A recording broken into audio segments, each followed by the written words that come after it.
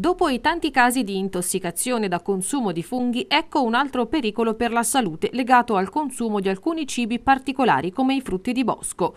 Nel periodo specialmente delle feste natalizie sono indubbiamente molto utilizzati per la preparazione o la decorazione dei vari dessert. E la malattia che si può contrarre non è nemmeno delle più simpatiche, si parla infatti di epatite A. Secondo i dati in possesso del Servizio Sanitario Nazionale, nel 2013 si è avuto in Italia un aumento dei casi di epatite A correlati proprio al consumo di frutti di bosco ma surgelati. Il Ministero della Salute e di conseguenza le aziende sanitarie, comprese quella aretina, hanno così avviato una campagna informativa per sensibilizzare la cittadinanza sul corretto utilizzo di alcuni prodotti alimentari che potrebbero essere fonti di rischio. Per prevenire la malattia è comunque disponibile un vaccino efficace e sicuro, vaccinazione che può essere effettuata nelle sedi degli ambulatori zonali del Dipartimento della Prevenzione, anche ad Arezzo. Ma ci sono soprattutto delle semplici regole da seguire per evitare il rischio di contagio.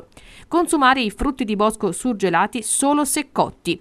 Consumare anche i frutti di mare solo se cotti. Lavare accuratamente con acqua potabile frutta e verdura prima di consumarle. Bere acqua di pozzo solo se controllata e in ultimo la più banale ma forse anche la più importante, lavare accuratamente le mani prima di manipolare qualsiasi alimento.